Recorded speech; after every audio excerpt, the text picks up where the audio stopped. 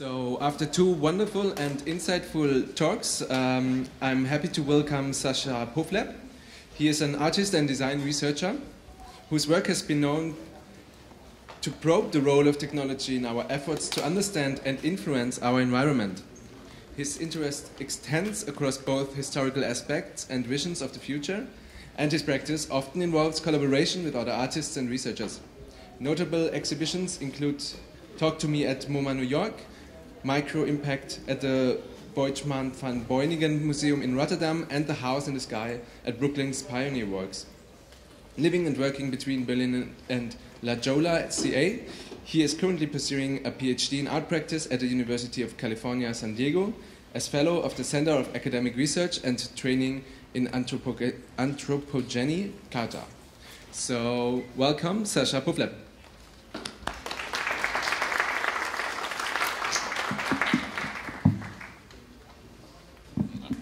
Hi.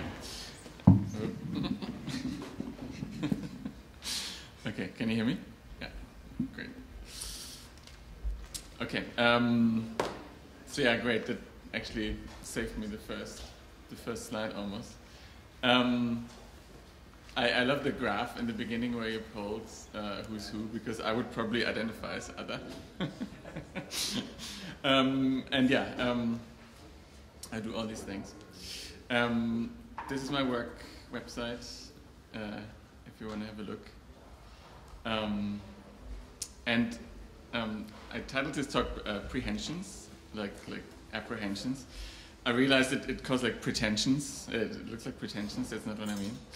Um, and I wanna I wanna preface it by saying I'm I'm also one of these user people. So I don't necessarily work too much with the algorithms themselves, but I'm I'm actually I'm using them to kind of like create works that thematizes these things. And I typically have more questions than answers. Um, so um, some things I want to talk about. Um, and one hour is actually quite long, so I'm, let's see how long I'm going to go, but then maybe we have more time for discussion among ourselves as well. Um, I want to talk about what are those technologies? Um, where did some of their methods originate? How do they relate to us? And I am going to intersperse this with um, three works of my own.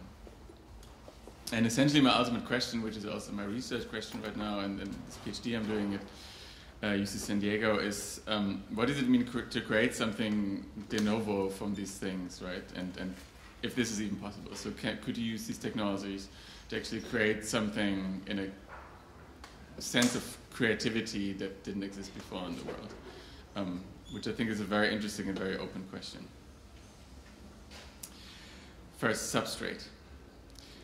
Artificial neural networks originated in Walter Pitts and Warren McCulloch's caricature model of an artificial neuron, uh, proposed in a paper called A Logical Calculus of the Ideas Immanent in Nervous Activity from 1943, which is widely regarded as the theoretical foundation of AI. Norbert Wiener, the mathematician, was one of the great proponents of Walter Pitts, since, and this is a quote, Wiener realized that it ought to be possible for Pitts neural networks to be implemented in man made machines ushering in his dream of a cybernetic revolution. He knew if such a model were embodied in a machine, that that machine could learn. That's from a really beautiful article in Nautilus magazine called The Man Who Tried to Redeem His World, The World with Logic, which is kind of a nice um, connection to, to Anna's talk maybe as well. Um, so in the 1980s, such purely digital models of living logic were abandoned in favor of a more analog and gradual model of neural computing. And that's actually where this idea of the post-binary comes in very nicely. But then again, also not really because it's a simulation of it. So you have a digital simulation of something analog, which may be post-binary. And today, as we saw, increasingly multi-dimensional networks of parameters can embody a Weltbild in a mineral substrate, organic. So we have somehow managed to operationalize an ontology that originates in processes that remain rather alien, even though they likely constitu constitute the very self of us. So what you see running in the background uh, is actually a real neural network in action. And I got it from YouTube, like most of these clips. Um, and, and was this amazing comment on it the first comment on the YouTube videos, which was, so this is basically what we are, these signals. I feel so strange now. Where's the magic to life when you realize you're actually a super complex, complex wired organic system? It's so fucking cool to see this. So in the sense that, that a neural network can replicate some of the features, or not features, let's say effects of these, um, is something you could call existence proof. But it's still a model, or it still is a model. But now, in a sense, it stands in front of us, it's gazing back, and it's gathering data for training purposes. Two, the gym. It's quite dark. Um, but what does it mean to learn something? What does it mean to train something for something? Will humans always be involved? I actually personally think so. But as what? So, on what layer are we going to be part of this? Um, what does it mean to train, and what does it mean to be trained on? Which relates to the data set creation that, that we heard about. So, what does it mean to provide the data for these things, or to basically be the face of one of these data sets? Which, I mean, it's, it has become clear in the discussion of recent months, it's inherently problematic. Um, and what's the moment of recognition? Like both the recognition of the machine of us, but also the recognition of maybe there's something going on in the machine. So in this video that you can kind of make out um, is Garry Kasparov versus Deep Blue, which is this legendary chess moment, right, when, when the first human was comprehens comprehensively beat by a machine. Um, it was quite beautiful because Ka this is a moment when Kasparov gets up and like walks out angrily of the room. Um, because and the reason why he was angry, according to himself later in interviews, is not that he lost, but that he thought that IBM didn't actually have like purely computer beat him, but they had, a, they had an army of weaker players than him, and kind of like his his enemies, but like nameless enemies, plus a computer, right? Um, and this, this repeated itself later. And I wonder whether there's a word for that specific fallacy where you know you encounter something that can do something that only you can do, and it just makes you angry, right? And you're, you're in disbelief. You you you reject it basically. Um, capture. So what does it mean to truly capture reality? Because as we just very correctly heard, that's the dream.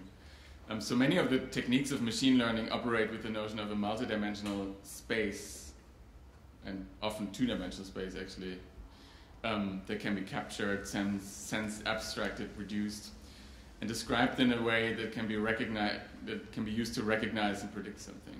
So descriptive models, predictive models, projective models. But how many dimensions are actually needed to sufficiently recognize a phenomenon?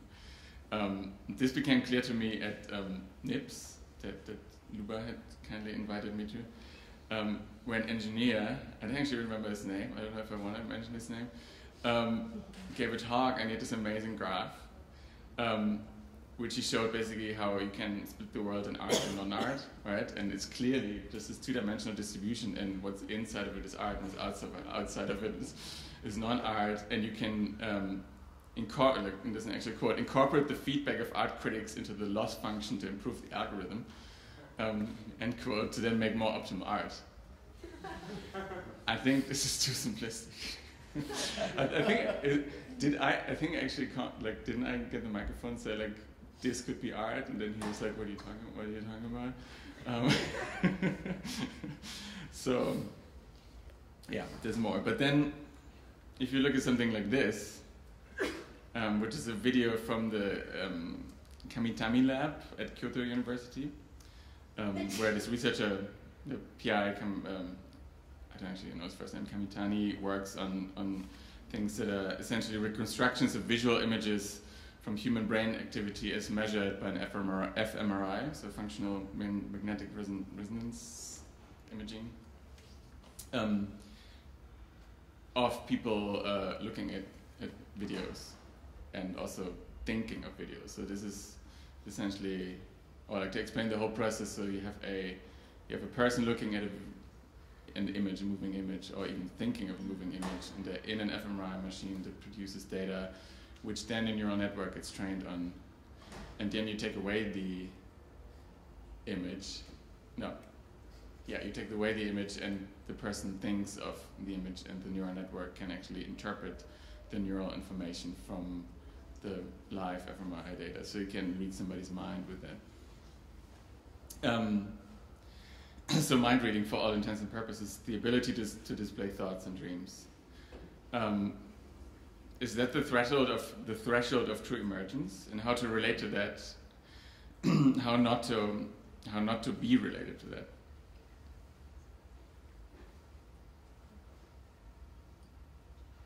So the first own work I want to show is called Deep Unlearning, and games play an important role in all of these things as benchmarks for intelligence, but also as a common platform on which these synthetic models can be directly encountered.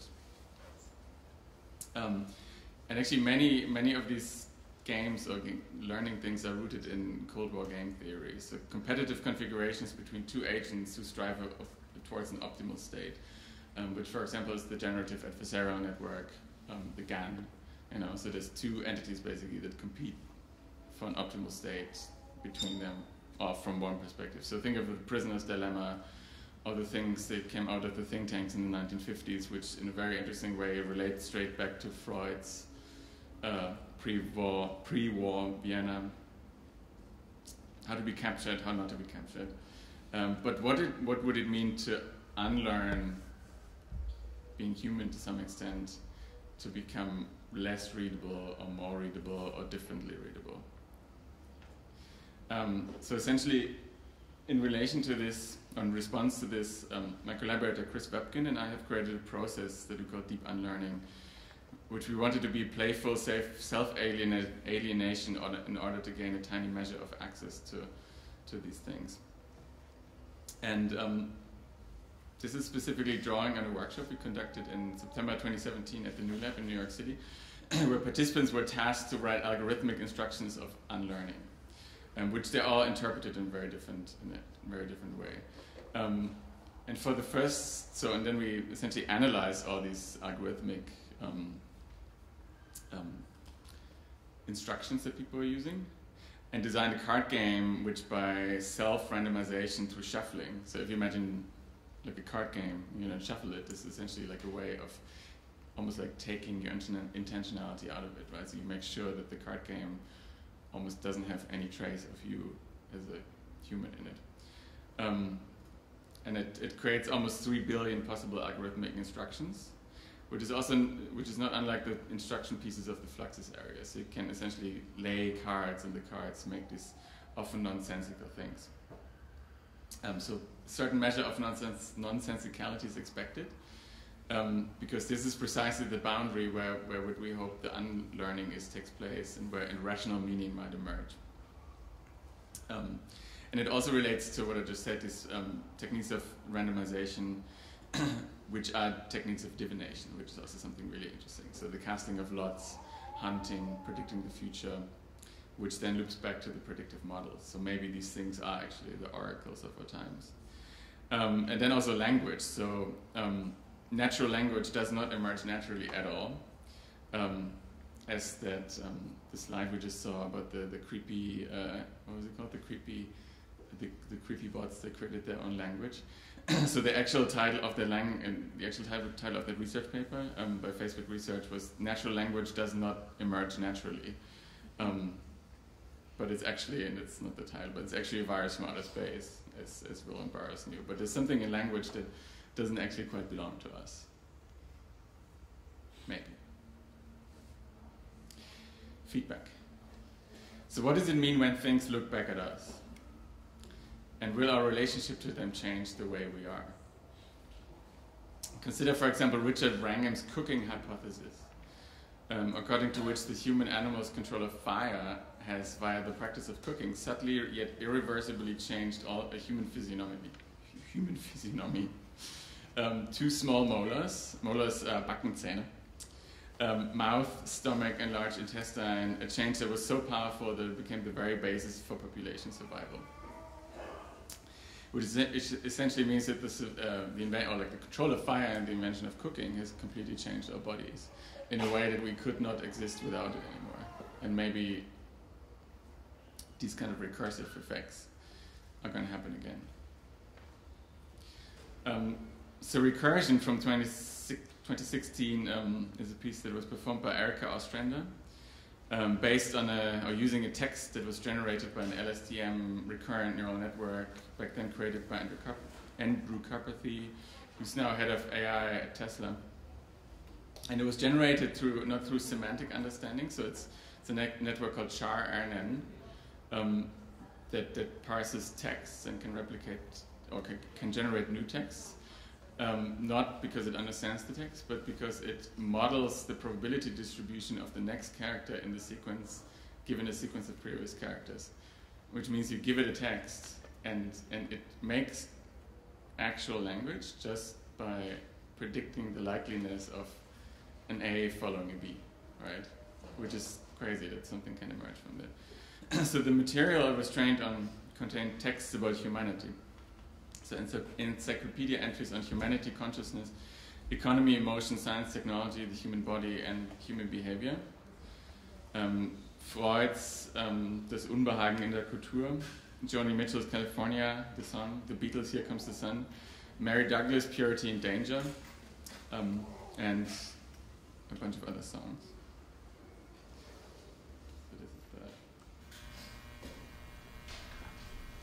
Human in the supply and substance, the sense of the positive importance and the simple distinction of the good form of the economy and the study of the production of the model of the subject of the part of the sense of the reality of any social contract to the divine in a single interest of the power of the sense, of the consciousness, of the self consciousness of its own self, which is the reality of the sexual self consciousness, is the self that is the sense, and the self that is the actual and more consciousness of the other, is not the way in this world, is a self consciousness as the I is its own alter. The self consciousness is its own doing and the significance of its own essence, which is despite the reality in the present, the substance is the substance and the other. So that considerable to its experience, which we not the self as the self consciousness is the substance, is this construction of this reality, which is a single individual, and a self consciousness as such. In the self, that is the substance in the ethical consciousness, is only the content of the behavior of the sphere of the same self of the other world, is the being of the century, the same time, the animals, and the actualization of the consciousness, the one, the standard of the scientific things, the action of the same time, the means of the self, is actually the doubt, the actuality of its own self at the self consciousness is a man, the existence of the behavior of the species, of the benefit and the significance of society and others, individuals, as the self consciousness is the external and the self of something further sensuous, might be in the same time, in the same time, the actual world, the development of the strong thinking of the species of the self and how the single individual for the sensations of the subject of the culture each other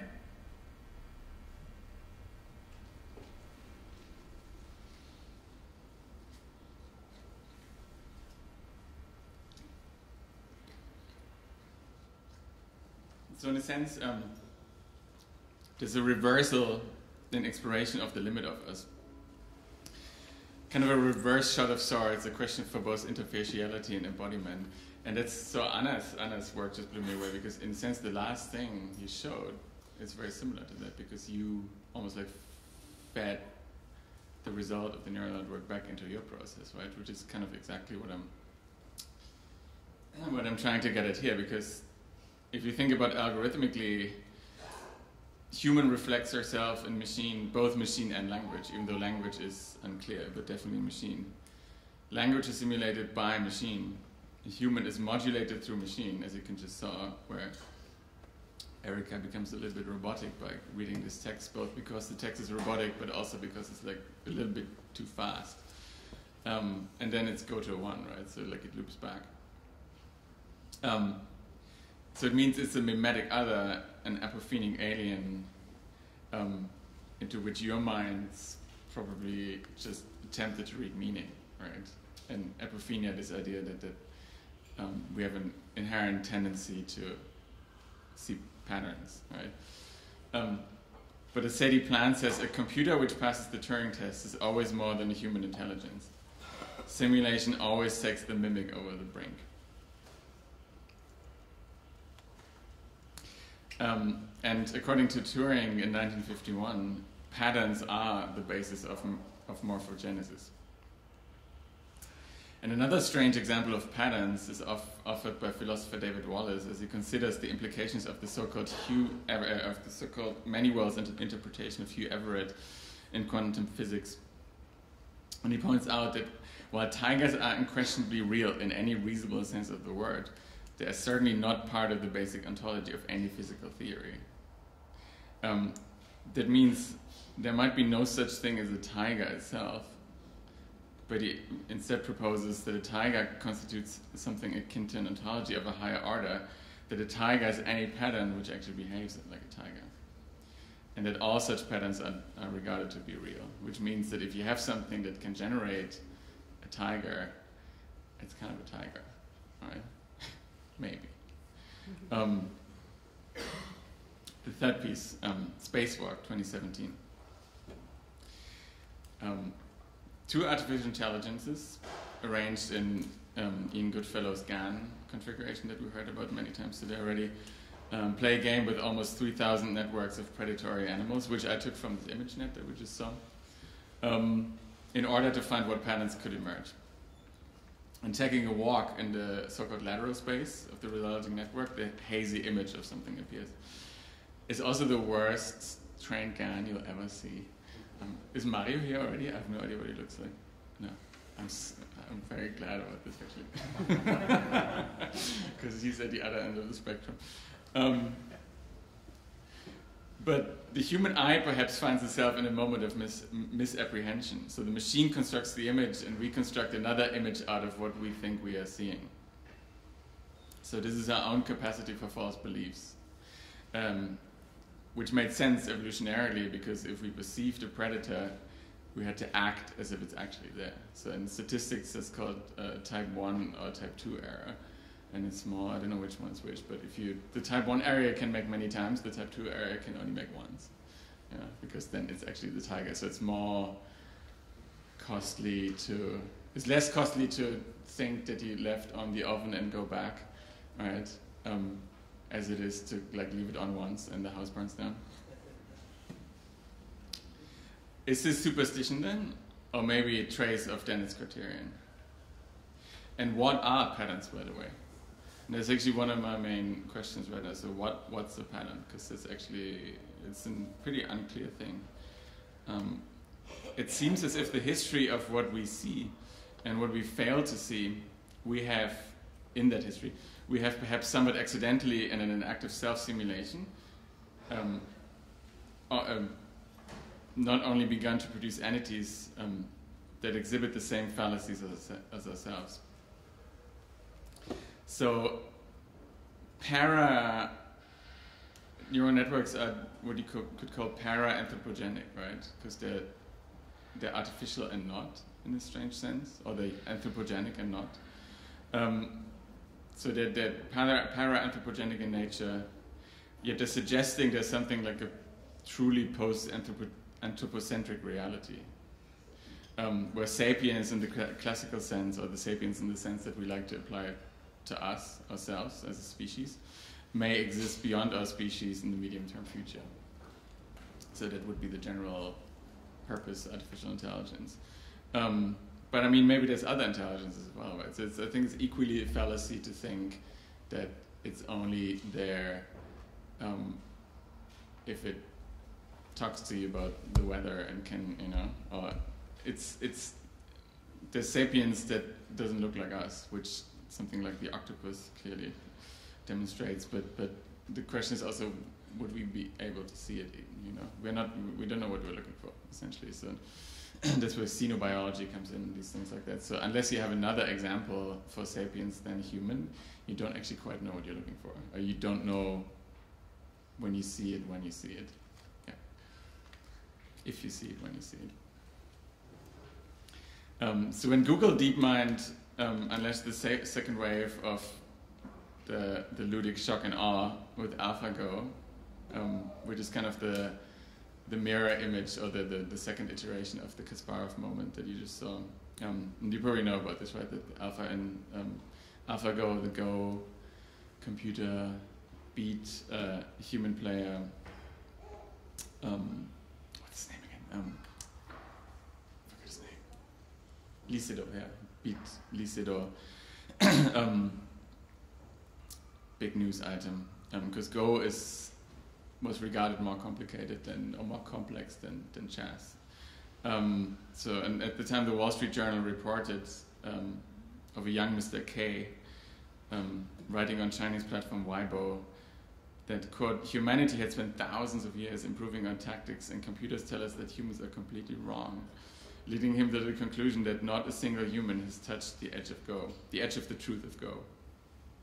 And there was this beautiful moment when, um, and it was move 37, right? When when um, and it is always 37 for some strange reason.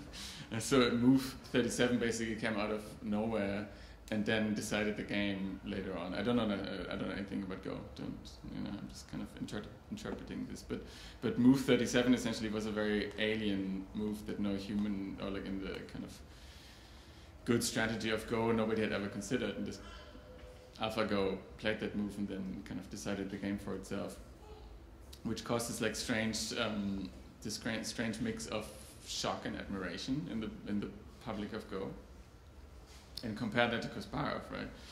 Um, so maybe humanity doesn't have a monopoly on innovation and creativity either.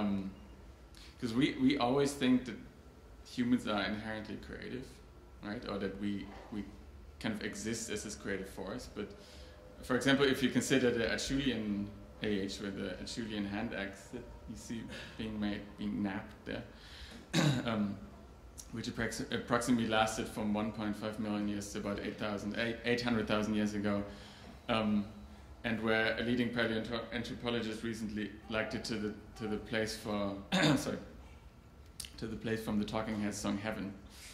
Heaven, heaven is a place a place where nothing nothing ever happens. So in that whole time, from 1.5 million years ago to about 800,000 years ago, technology did not change, right? So people had these made these things and there was no innovation to them you know? So why why do we think that we we kind of like own creativity and why do we think that machines cannot do that? It could also be the other way around. Um, which brings us to the back to the GANs and, and the question I would actually have maybe also for discussion. So Ian Goodfellow the creator of the GANs says or said at, at NIPS as well last December quote, GANs fill in things that are not available to the senses. They can imagine. But is that true? Are we looking at interpolations, interpolations between the layers of possible states? Or are we looking at something else? Another person who was part of this 1980s moment that I mentioned earlier recently told me feedback is just feedback. I'm not sure. Um, I would I would actually like to speak to somebody who's doing the algorithms because like the closer you are to the algorithms, um, maybe the closer you are to feeling of what's going on there. But what if not? I mean, or what if yes, rather? So what if what if these are the alien or the things that exist between the layers of it in like the in the lateral space that many of these artworks actually activate or use? Um, what if that's actually the alien prehensions of the of the neural networks? Which means, will we notice them? Um, do we actually need the games to see them? So the game, the game is a common denominator of a reduced world. The game of a model is a world to be able to see the machine creativity, because you maybe wouldn't see it in the in the real world because it's too complex. So it's only in a um, so maybe it's only at this point maybe it's only in a it's only a game like chess or Go that a machine can capture this. But maybe it also works reversely. Maybe it's only in a game that we can actually identify these little divergences that mean creativity. Um, and what is the aesthetic space in language proper? I don't know. okay, thank you.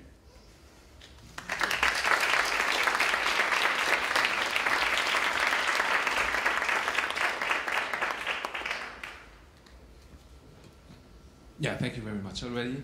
Very inspiring, interesting, and questioning job. Yeah, um, more questions than answers. Definitely, yeah. Um, so, what are the questions from the, uh, from the audience about it?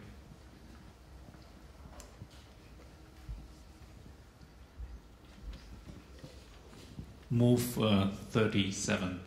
Um, is it probably just something another human might have come up with and which was just not heard?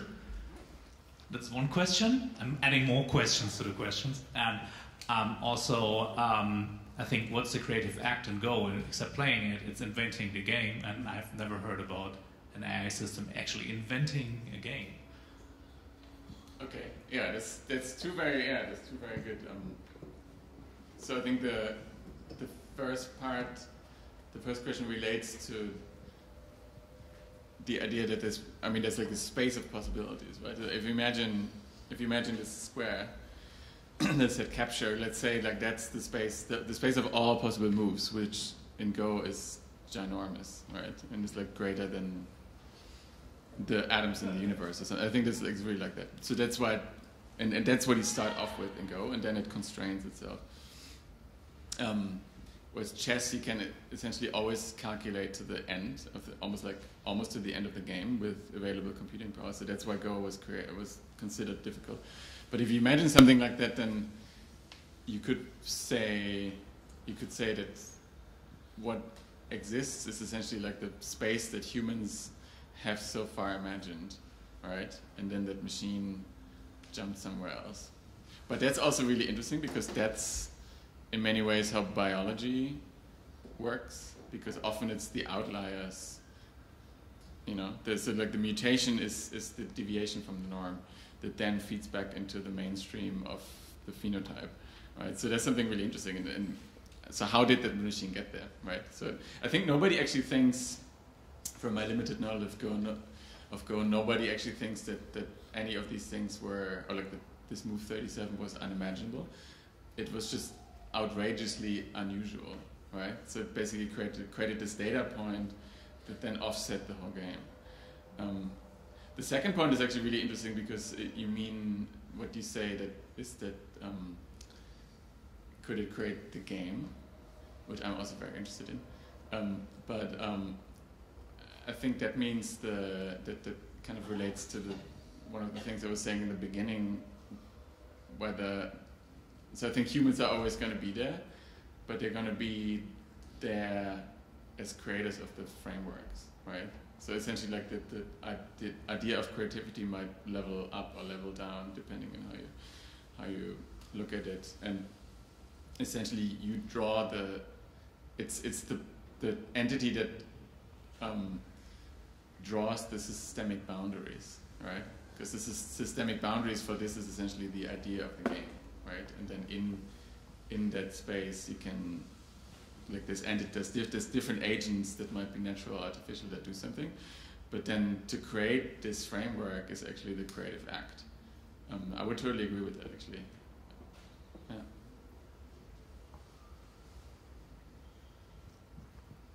So you, you showed this perhaps provocative image of the circle of art within the non-art. Um, and I think we had some nice discussions last night with Anna and Luba about, you know, what actually makes art art, and especially in this space. Um, yeah, perhaps you can elaborate some somewhat on, on your thoughts on this, and I mean, perhaps on a specific example, like I mean, lots of people in computer science generate cool stuff right now. Is that art already, or what what does turn it into art? Um, yeah. Um, oh, the art question. Um, uh, well, I think um, so art kind of relates very directly to the game because maybe art is one of these games, right? Which means you can read, you can redefine it, and you can, um, yeah, you can read, you can always redefine it, right? Which means it is evading. So the point of art is to evade capture. The, the, the point of art is a cultural technique in human society in human sociality. I think you always have to like bracket it with this is something that humans do, right? Um, probably, um, likely. Um, so you have to see it in that context and, and the point i think one of the points of it the point one of the functions in human sociality is to evade that capture right that this person was suggesting which makes it comical. But that person didn't realize because he was very honest about it you know? He, you know he said like wow this is clearly something we can we can solve right? But the point is obviously like to not do that but it's it's almost like a thing that he can point at things. Like Oron Catts the the um, artist who works with biology said a couple of weeks ago to me that he thinks that art is a license to actually do things that don't work in other frameworks. So almost like it's the meta framework basically um, that you can then apply to figure out other things, all right? But it's it's you know it's it's an unanswerable question because it's it's the thing that's nothing, but it is something, all right? So it's kind of um, yeah, I'm, I'm being very evasive on purpose. but, but I think you know what I'm getting right. Like the, I, I think you can use many of these, you know, um, you can use many of things, many of these things in an art context, but then it's not possible to kind of like completely capture the space because the construction of the space is the actual practice, much like the games.